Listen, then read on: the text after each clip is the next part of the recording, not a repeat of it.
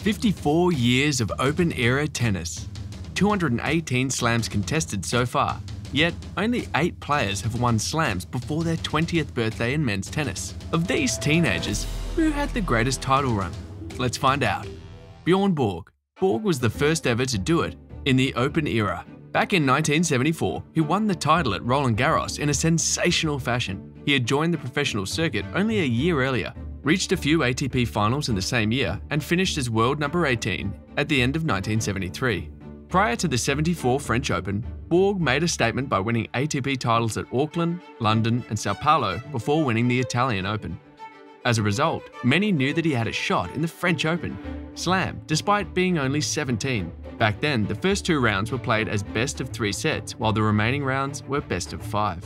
The third seed breezed past unseeded opponents in the first three rounds before meeting an irrepressible Van Dillen in the fourth round. A crazy five-setter, Borg was smoked 6-love in the first set before storming back to win the next two sets. Van Dillen won the next set before Borg edged him in the final set. He made it to the quarterfinals. This time, he met a ninth seed Ramirez who dragged him into another epic five-set thriller. Borg showed exceptional mental strength and stamina to make it to the semis. He beat an unseeded Harold Solomon in four sets to set up a date with Manuel Orantes in the finals. Orantes won the first two sets, 6-2, 7-6, and Borg looked all but defeated. However, the Swede brought something different in the third set. He started to play a lot better, and Orantes' game only got worse.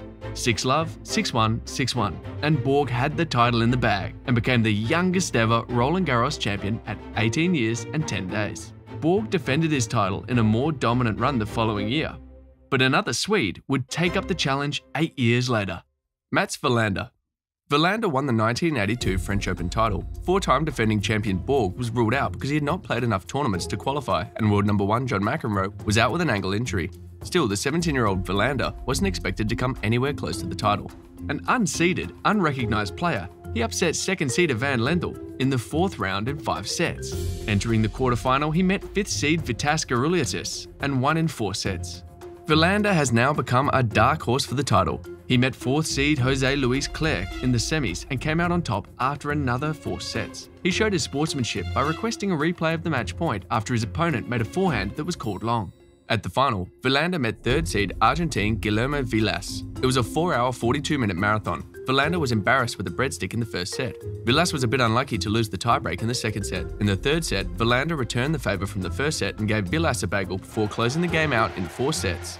1-6, 7-6, 6-love, 6-4. Wilander had become the youngest ever French Open winner in a final that saw wild swings in momentum between players. It was Wilander's first ATP Tour level title and he created history at 17 years, 293 days. Before he turned 20, he also became the youngest player to win the Australian Open title. Quite impressive, right? But an even younger teenager rewrote the history books three years later. Boris Becker. Becker became the youngest male Wimbledon winner of all time when he won the title as a 17 year old in 1985. Like Wilander, Becker was also an unseeded player. He met Kevin Curren in the final. Curren was smoking hot and had annihilated Stefan Edberg, McEnroe, and Jimmy Connors on his way to the final. Becker, on the other hand, had lost a set in the first round and had gone the distance against seeded players in the third and fourth rounds. He did four sets against tough opposition in the quarters and semis. The final came and it brought all the fireworks. It was a close four sets. Becker took the first 6-3, but Curren leveled up by winning the tiebreak in the second set. Becker returned the favour to win the tiebreak in the third before breaking Curren in the fourth to win 6-4. The match was intense. Becker sent several hostile glares to Curren in between points and even bumped Curren's shoulder as they passed one another during one of the final changeovers. Becker became the first unseeded player to claim a Wimbledon men's single title, doing so at 17 years, 7 months, and 15 days. He went on to defend his title the following year. Stefan Edberg, Looks like the 80s tennis was the real deal, and the Swedes weren't messing around. Another Swede, Edberg, won the Australian Open on December 9, 1985, 40 days before his 20th birthday. Unlike the other players so far, the prodigy Edberg had already made some name for himself. Two years earlier, he'd become the first and only player so far to achieve the Junior Grand Slam in the Open era by winning all four Slam titles in 1983 before turning pro later that year. Edberg defeated his compatriot and two-time defending champion Mats Wilander in the only all-Swedish final so far. The tournament was played on grass. 19-year-old Edberg had received a first-round bye as the fifth seed. He saw off two unseeded Americans in the second and third rounds. The third round was a tight four-setter, however. In the fourth round, he was nearly upset. Two sets down, he needed a tiebreak to take the set in third against home player Wally Masur. He breezed past Schaffers in the quarterfinal to set up a crunch match with world number one Ivan Lendl in the semi-final. An epic five-setter played over two days due to rain interruption. Edberg won 6-7, 7-5, 6-1, 4-6, 9-7.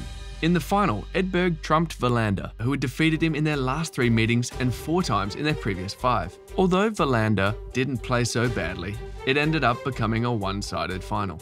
Edberg put on a scintillating show and never let Wilander settle into the game. 6-4, 6-3, 6-3, and Edberg took his maiden slam. The golden 80s was coming to an end, but not before another teenager joined the elite club. Michael Chang. Michael Chang won the title at Roland Garros at 17 years, 110 days, and he remains as the youngest ever slam winner. He defeated Edberg 6-1, 3-6, 4-6, 6-4, 6-2 in the final. As impressive as this was, it wasn't the highlight of Chang's title run.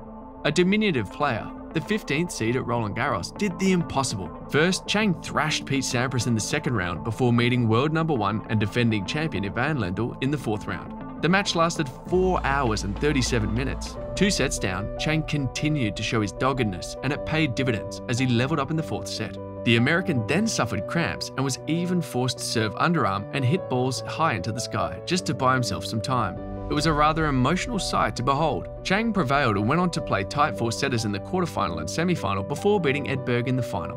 What a title run! But that's not all the 90s had to offer us. Pete Sampras. After Chang, fans didn't have to wait long to see another teenager create magic. The following year, Sampras was 12th seed at the US Open. He hadn't played in the French Open that year and was dumped in the first round at Wimby for the second year in a row.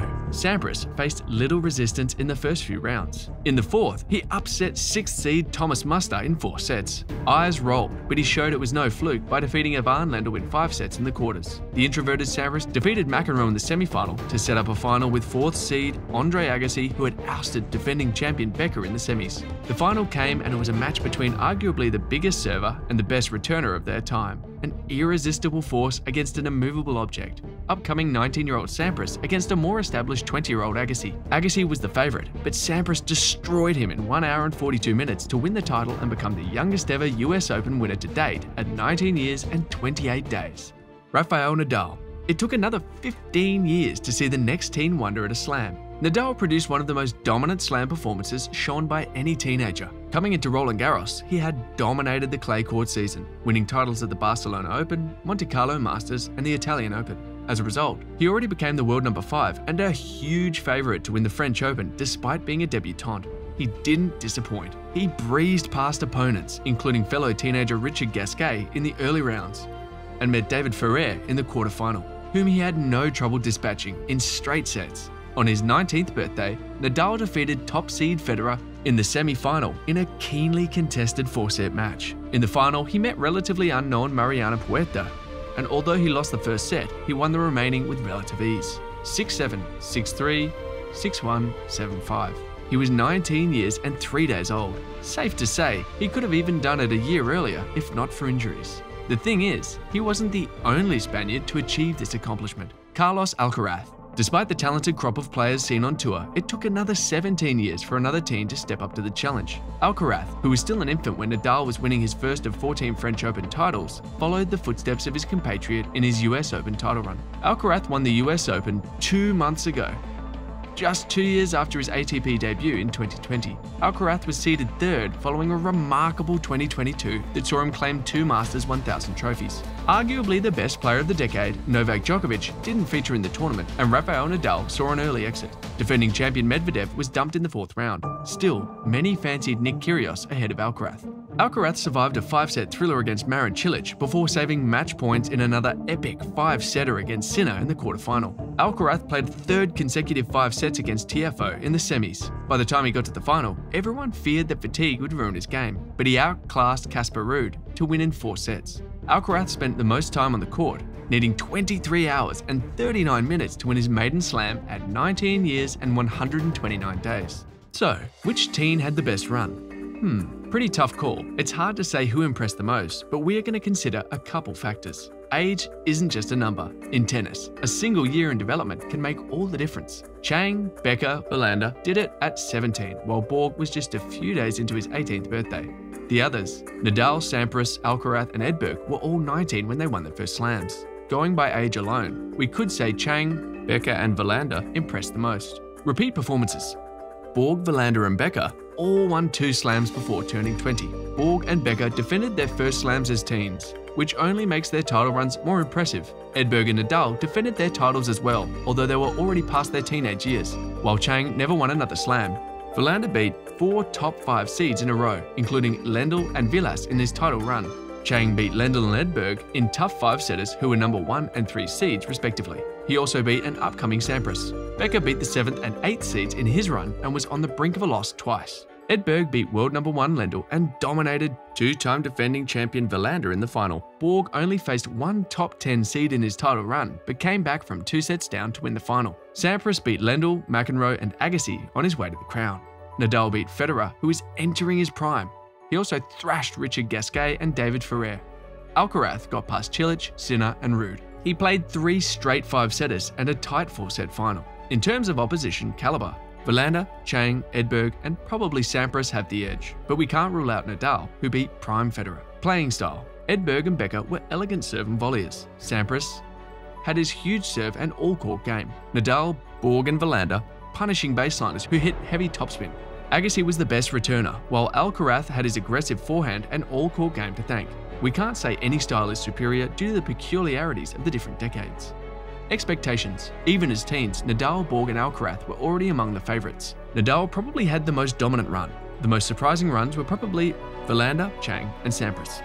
There are many angles to look at things from. I imagine fans are going to be at loggerheads on who had the greatest title run. For me, it's very hard to separate Chang, Becker and Wilander. They occupy my top three spots in that order. These dudes came out of nowhere. By the way, Wilander's run appears to be extremely underrated. I will probably give the next two slots to Sampras and Borg. Take nothing from the rest. These players have written some of the most beautiful tennis stories with their title runs. It might take another decade to see the next team. Meanwhile, let's see how good a career one of these players had in the next video.